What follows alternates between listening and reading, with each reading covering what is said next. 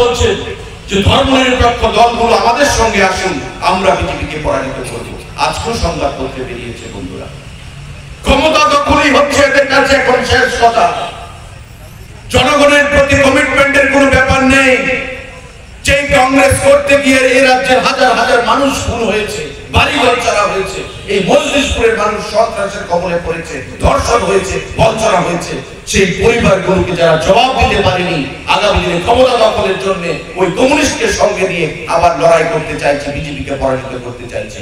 আমরাও চাইছি কংগ্রেস এবং কমিউনিস্ট এক মঞ্চে এসে লড়াই করো পশ্চিমবঙ্গের মতো ডাবল জিরো পাইয়ে দেবে এই রাজ্যের জনগণ এবং এই বিধানসভা কেন্দ্র আগামী দিনে আমরা সেই দলীয় করব, বন্ধুরা।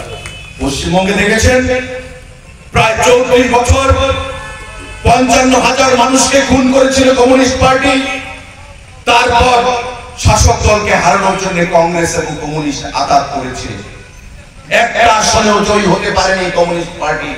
এই রাজ্য আগামী দিনে আমরা সে পরিষ্কার পরিস্থিতির চিত্র দেখতে পাচ্ছি বন্ধুরা দু হাজার তেইশ সাল। বর্জন করবে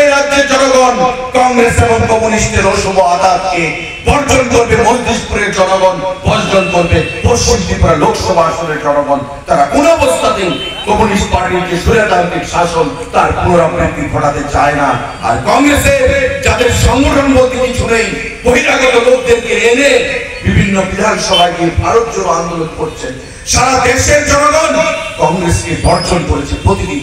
রাজ্যের মধ্যে আজকে ত্রিপুরা রাজ্যে কংগ্রেস বলছে।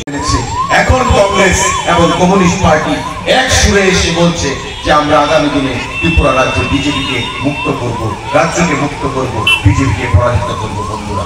আপনাদের সজাগ থাকতে হবে, সচেতন থাকতে হবে।